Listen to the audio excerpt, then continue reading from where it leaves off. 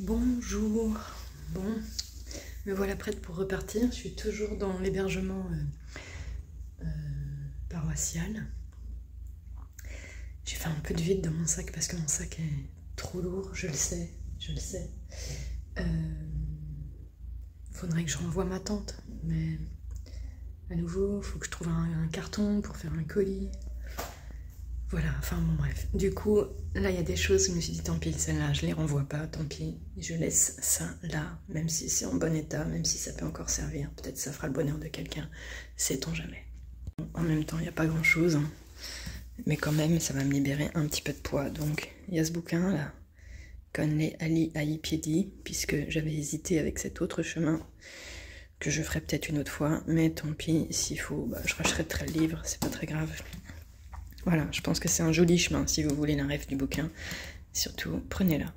Et puis mes chaussures, là, ça, fait maintenant quelques temps que je m'en sers plus.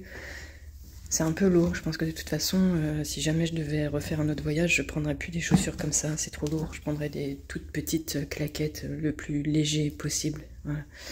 Bon, les épargnements, j'en ai plus besoin, c'est que quelques grammes, mais c'est toujours quelques grammes, plus quelques grammes, plus quelques grammes. Le chapeau, pareil, le chapeau, j'en ai plus besoin. Et puis bah ça, c'est les restes de mon petit déj de ce matin. Ça, c'était en plus, je m'en suis pas servi. J'espère que ça servira à quelqu'un. Voilà. En tout cas, je vais pas amener ça. Donc je sais pas combien il y a. De toute façon, le lait, je l'aurais pas pris, ça c'est sûr. Je sais pas. Euh, il y a peut-être même pas un kilo, j'en sais rien. Euh, j'ai encore mon matelas, ma toile de tente, c'est ça qui prennent le plus de, de poids que, dont, je me sers plus maintenant. Mais je suis pas encore prête à la, à la déposer ici et à repartir sans. Bon. Allez, on va voir comment ça se passe aujourd'hui du coup, déjà avec un petit peu de poids en moins. J'espère que le prêtre m'en voudra pas d'avoir laissé quelques affaires ici. Bon alors moi je m'attendais à un joli sentier en bord de côte. Ben c'est pas ça. c'est pas ça du tout. C'est un joli trottoir en bord de grande route. un joli trottoir, même pas d'ailleurs.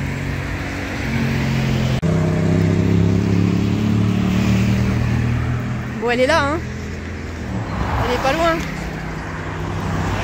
Mais bon.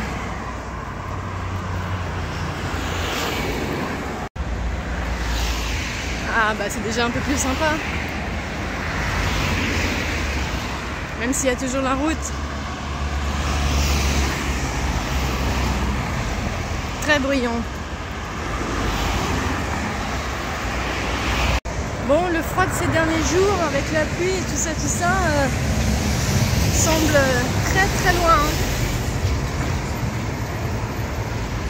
Soleil, on s'est couvert, mais normalement ça devrait rester comme ça toute la journée.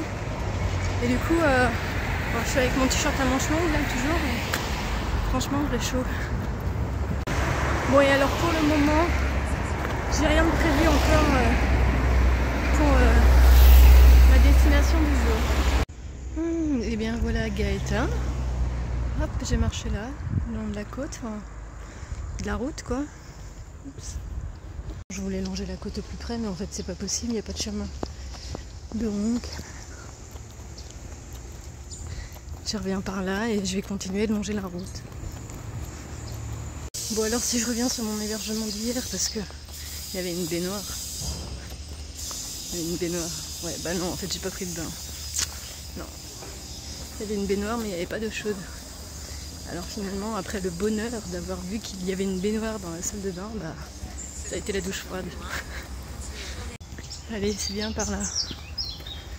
Sous le pont. Oh non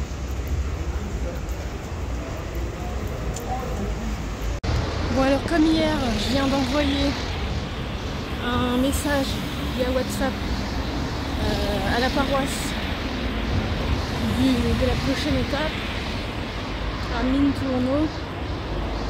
et euh, on m'a répondu aussitôt pour me dire que c'était bien sûr possible, à quelle heure j'arrivais et tout ça, tout ça. Voilà, donc comme ça, mon hébergement de ce soir, c'est fait aussi. Merci pour ces accueils paroissiaux. Merci. Bon, ben moi qui m'étais imaginé une belle étape en bord de côte, ben on repassera. Hein. Bon, le soleil est là, ça va, mais sinon, pour ce qui est du chemin, j'ai mieux quand même. Hein. Ah, ça va mieux par ici. Hein. Quand même plus sympa ça.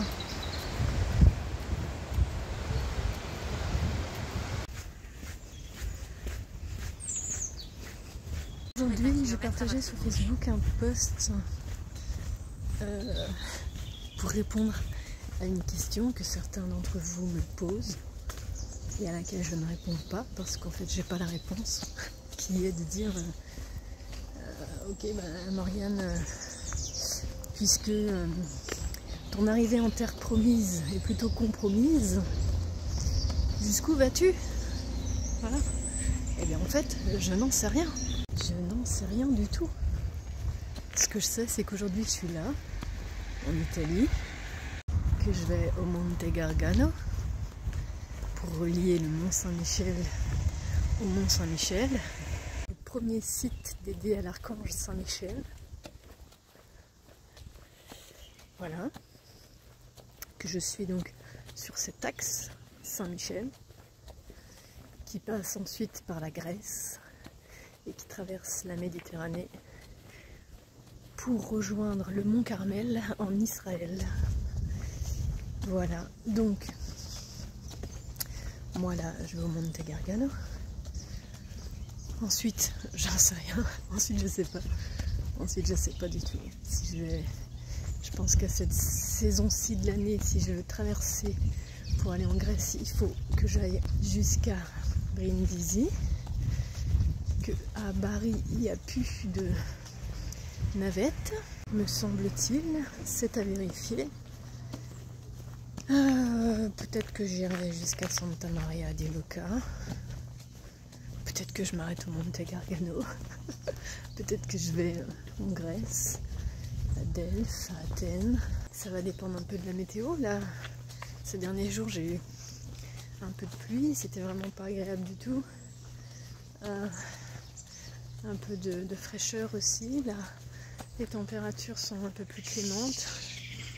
La pluie a cessé. J'en sais rien en fait, je sais pas. La Grèce c'est montagneux, avec des sommets euh, tranquillement à 1007. Je sais pas à quoi ça ressemble la Grèce euh, en mois de décembre en termes de, de météo, de climat. Ce que je sais c'est qu'on est encore un peu plus au sud par rapport à ici.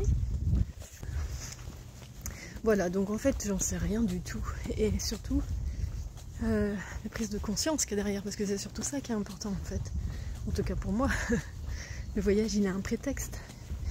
Il a un prétexte parce que je sais justement qu'il m'amène des prises de conscience à travers ce que je vis. Et c'est ça que je cherche moi en tout cas. Ce cheminement intérieur, cette évolution personnelle. La transformation de ce qui est limitant pour amener l'évolution de l'âme, la libération des, la transmutation des freins, de, tout ça, quoi, pour tendre vers la meilleure version de soi-même. Bon, bref, il y a une prise de conscience quand même dans tout ça. C'est de m'apercevoir que le voyage était si long au moment où j'ai décidé de l'entreprendre que d'abord il m'a fallu un long temps avant de réussir à oser me lancer dans cette expérience que me proposait la vie, bah oui, parce que j'ai la sensation que c'est pas vraiment moi qui l'ai choisi, mais que c'est bien davantage la vie qui m'y a poussé.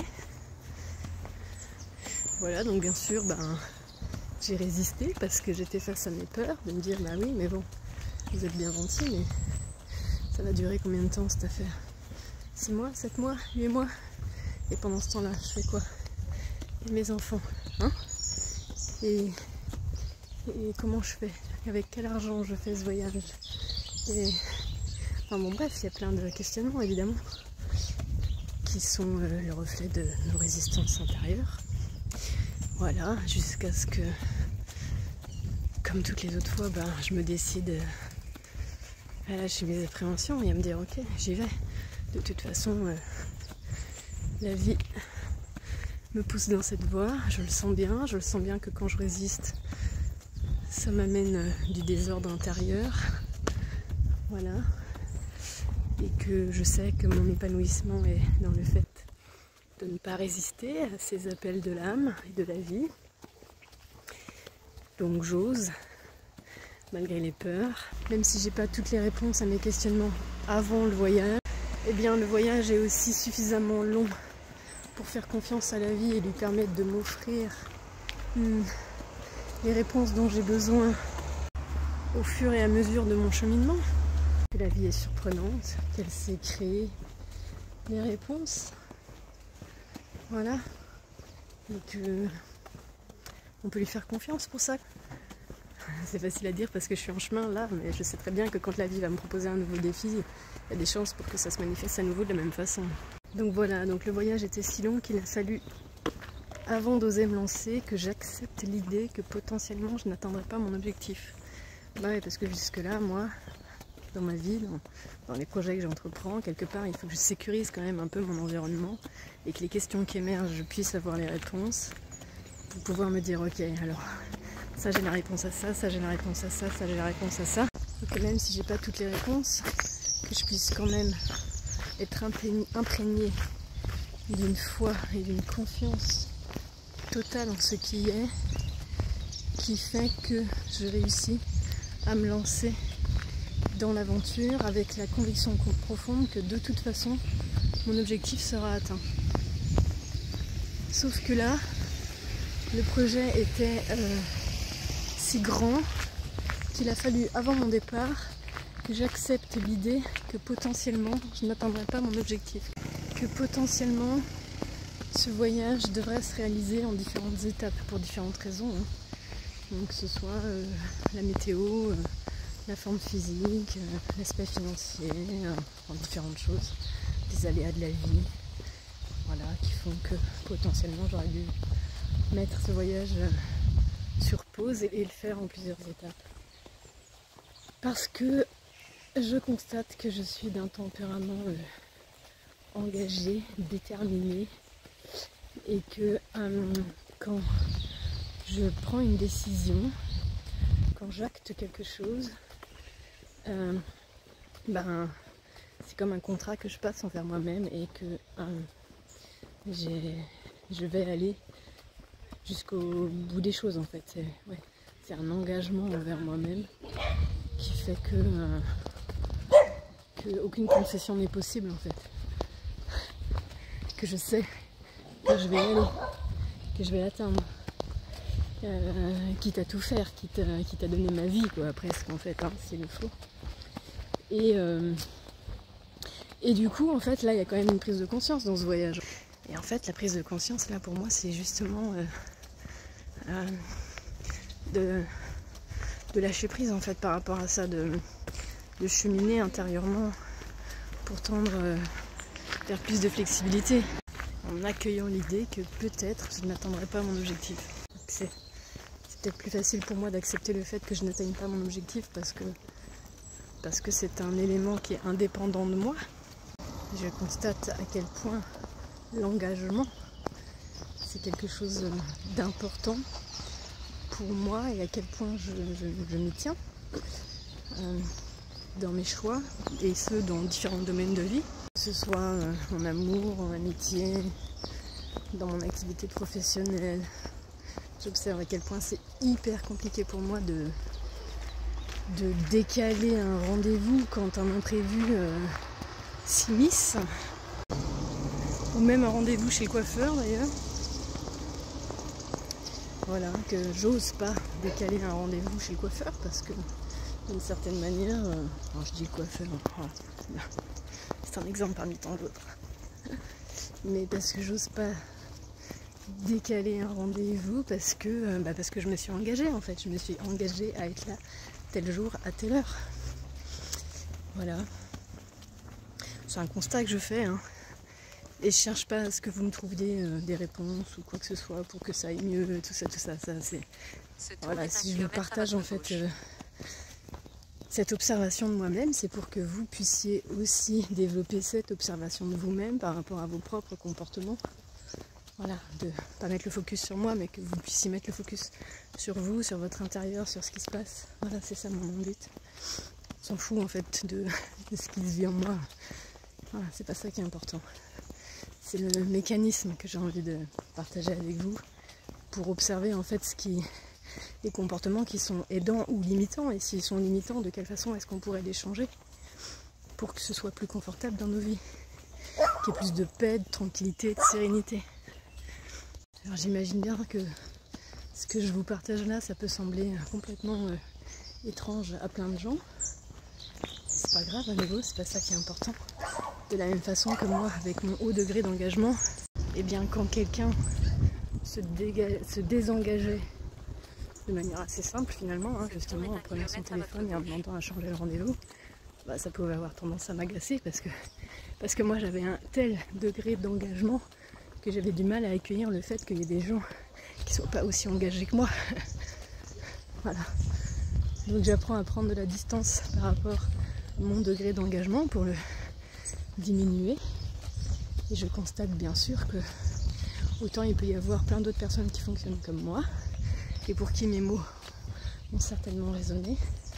Et puis d'autres qui sont absolument différentes et qui pour qui, au contraire, l'engagement est quelque chose de bien difficile et que eux auront un travail bien différent à réaliser intérieurement pour chacun d'entre nous. En fait, il ne s'agit pas d'être trop ou pas assez, mais bien de cheminer euh, vers la voie du milieu, vers cet équilibre intérieur, cet équilibre que je retrouve sur cet axe Saint-Michel, parce que je peux quand même faire des ponts quand même mais euh, avec Saint-Michel qui tient la balance et qui est dans, cet équilibre. Alors bien sûr, on dit dans la symbolique, il pèse les âmes au passage de la mort pour savoir si euh, on est suffisamment léger et qu'on peut aller au paradis ou finalement si on est encore euh, trop lourd et que qu'il y a encore du taf à faire. Qu'est-ce qui amène cette lourdeur? Ben, Ce sont nos émotions. Et c'est pour ça hein, qu'on est sur cette terre, cette planète qui est pourvue de, gravité. C'est pour vivre cette gravité et, euh, s'en libérer quoi d'une certaine façon. Peut-être justement en acceptant cette idée que, que rien n'est grave et que tout n'est qu'expérience. D'un point de vue de l'âme, tout n'est qu'expérience, mais nous avec notre personnalité qui vit des émotions dans cette gravité, eh bien, euh, ouais, on, on y attache de l'importance, on s'accroche à nos émotions, on s'accroche à notre personnalité en pensant qu'on est ça, alors qu'en fait, de mon point de vue, voilà, on est bien plus que ça. On est une âme venue faire des expériences sur ce plan terrestre, empreint de gravité, mais en même temps, ben, pour réussir à, à, se départir de toutes ces choses trop lourdes et pour, pour s'élever, comme une montgolfière qui lâche ses poids donc pour nous élever d'un point de vue de l'âme, dans notre élévation spirituelle. Bon bref, tout ça pour dire en effet que chacun d'entre nous on avance sur une voie avec des expériences qui nous sont différentes et que certains euh, pour qui l'engagement est peut-être facile et un peu trop prononcé devront réussir à s'en détacher un peu pour être moins engagés, moins dans l'engagement, apprendre à se désengager et que d'autres au contraire devront apprendre justement à s'engager pour avancer vers cette voie du milieu et vers cet équilibre intérieur qu'il nous est proposé d'atteindre. Et donc, eh bien, oui, euh, même si je me suis engagée à aller à Jérusalem, dans un engagement euh, simplement envers moi-même, hein, c'est tout. Et qu'en même temps, aujourd'hui, euh, ben, je pense que j'ai plus rien à prouver en ce qui concerne euh, ma force mentale, ma force intérieure, ma détermination, mon opiniâtreté, voilà, ma, conviction. je pense que ça c'est ok. Et qu'en même temps, euh, de toute façon, euh, non, on n'a jamais, enfin, on n'a rien à prouver, si ce n'est à soi-même en fait, je pense vraiment et que, euh, et que de ce point de vue-ci, euh, moi je pense que c'est bon, c'est ok. Je pense qu'aujourd'hui j'ai plus rien à me prouver. Donc ça me redonne une liberté en fait. En reconnaissant à quel point cette notion d'engagement est importante et en reconnaissant le fait que finalement je peux aussi me désengager, eh bien alors je ne suis plus prisonnière de mon propre engagement, mais je retrouve en fait la liberté euh, bah, de, de faire ce qui est juste pour moi, avec cette conscience que ce qui est juste pour moi peut évoluer dans le temps. Et donc tout ça pour vous dire qu'en fait, ben, euh, je sais pas jusqu'où je vais. Voilà. Je sais pas si je vais en Grèce, ou si je remets ça euh, au printemps, une autre fois. Voilà. Et quant à Israël, eh ben, évidemment, ça, je ne sais pas, et j'accueille le fait de ne pas savoir. Voilà, tout ça euh, pour vous amener aussi, comme je disais tout à l'heure, hein, à cette observation de vous-même. Le fait de partager ce qui se vit à l'intérieur de moi n'a absolument aucun intérêt. C'est tout à fait personnel et on s'en fout. Mais par contre, c'est le mécanisme. Le mécanisme, lui, il est, universel. Et, et si à travers mes réflexions, je peux vous amener à y voir un peu plus clair en vous, si vous en avez envie, que cela vous amène vos propres prises de conscience, alors c'est chouette. Voilà. Donc pour le reste, eh bien, on verra bien jusqu'où je vais. Pour le moment, je vais au Monte Gargano. Je suis à Scori. Scauri. Je sais pas comment ça se prononce. Hein.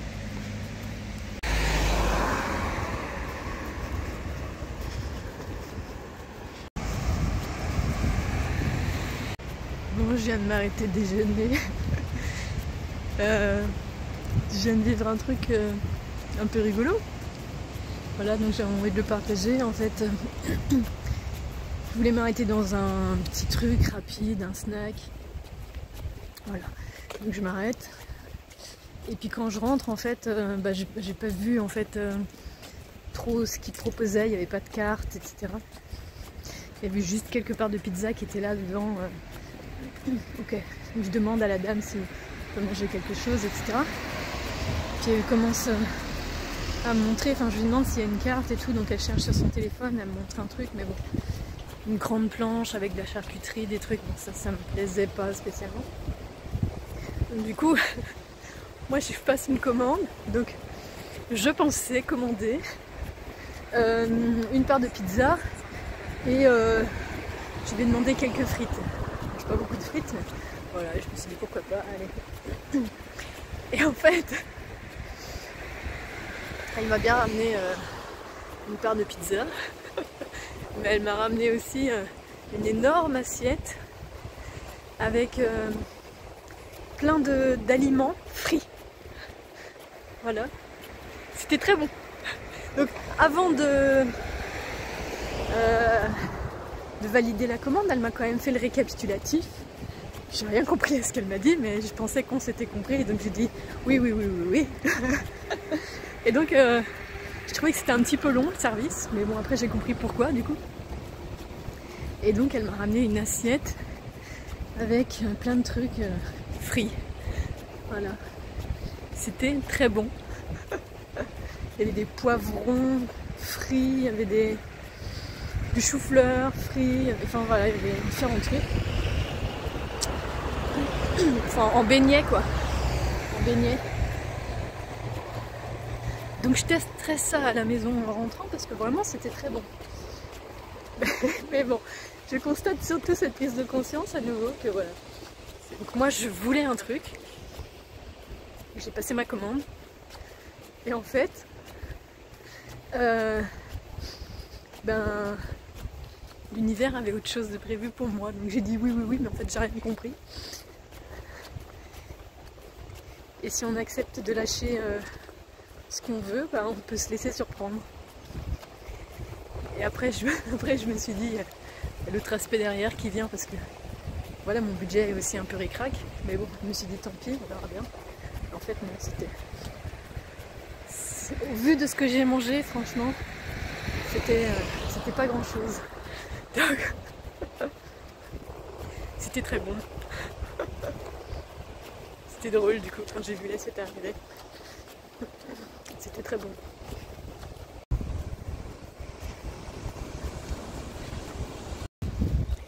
Et bon, peut-être qu'à un autre moment, pas si lointain que ça en arrière, j'aurais vraiment cherché à comprendre ce qu'elle me disait pour être bien sûr que ma commande était juste.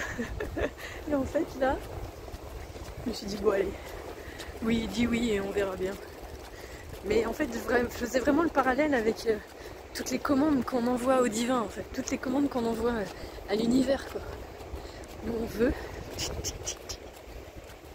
Et en fait, des fois, bah, il y a juste à dire oui, en fait, à ce que euh, la vie, elle nous propose. Voilà. Juste à dire oui. Reçois le cadeau. Tu sais pas ce que tu vas recevoir, mais fais confiance. Voilà, fais confiance. Ce sera peut-être euh, une jolie assiette de légumes frits. Ah, vous avez compris l'image, quoi. Hein, tout est métaphore.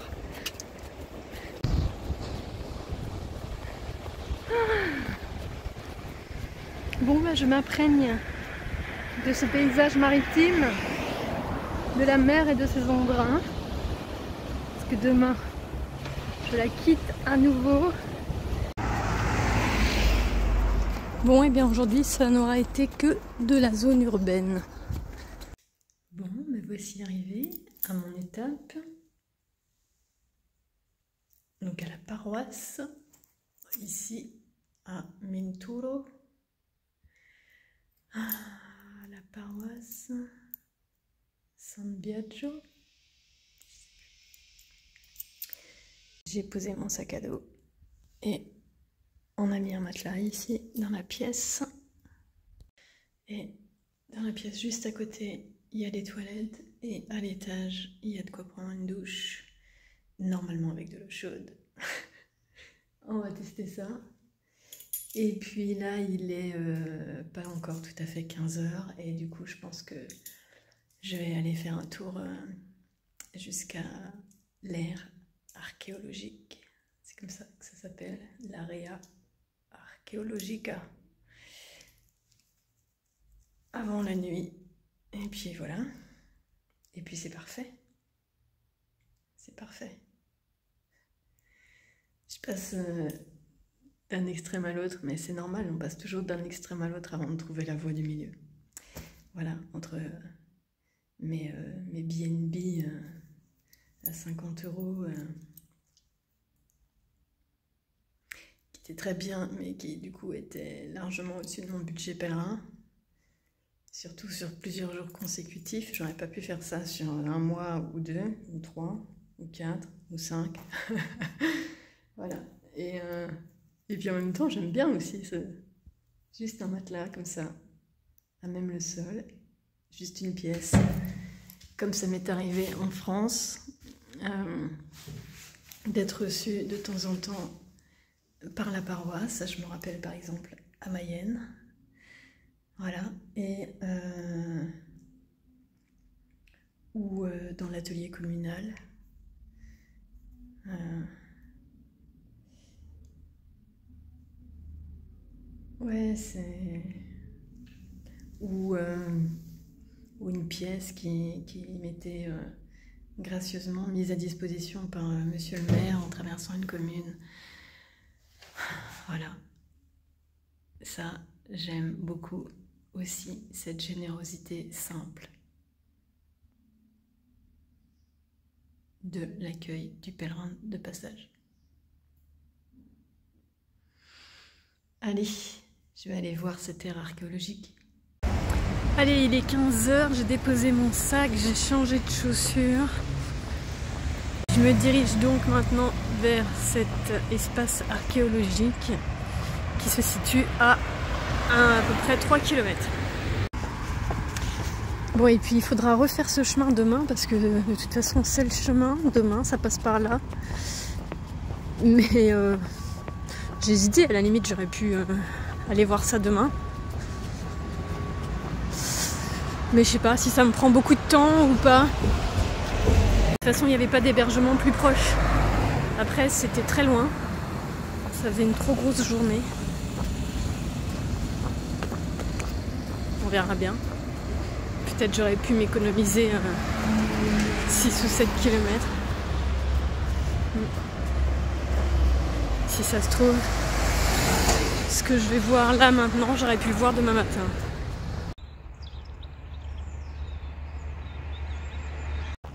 Bon, ben voilà, comme je m'en doutais un peu, ben c'est fermé. Du coup, on peut pas voir grand chose quoi.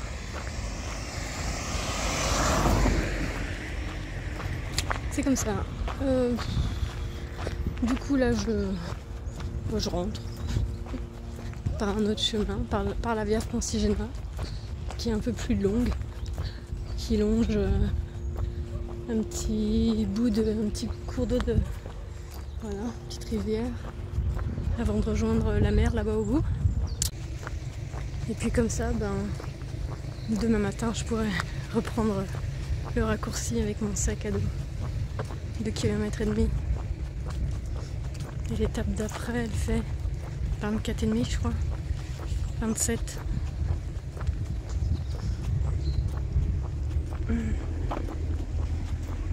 Allez, ça fait un petit décrassage hein.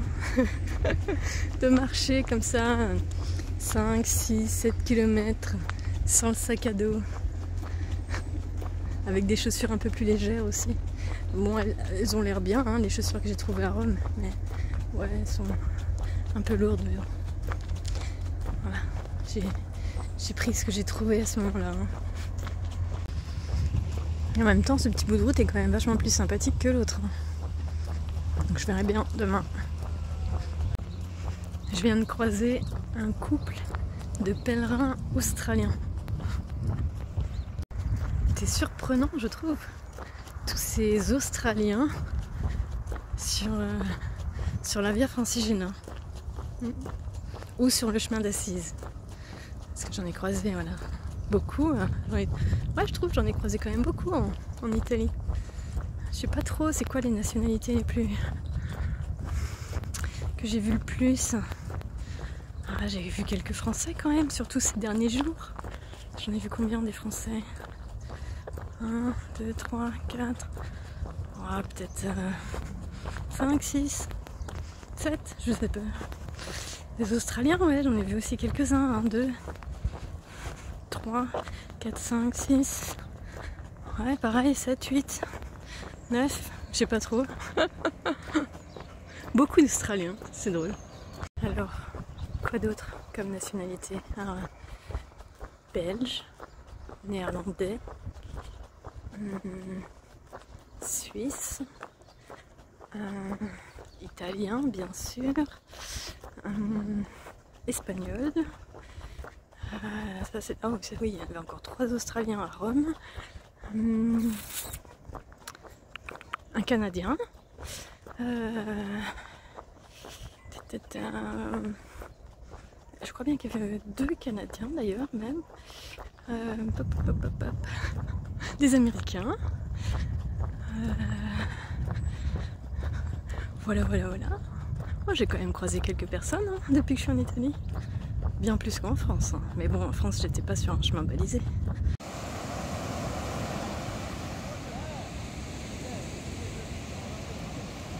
Bon allez, c'est sur ces images-ci que j'ai envie de vous souhaiter une belle soirée aujourd'hui. Prenez bien soin de vous. À tout bientôt. Ciao, ciao.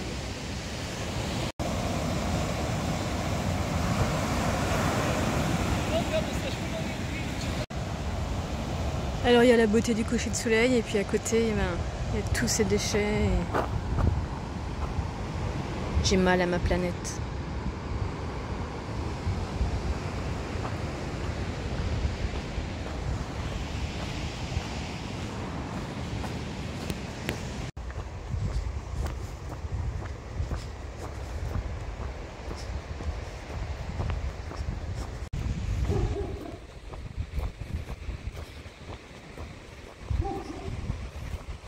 Ouais, vraiment, j'ai très très mal à ma planète.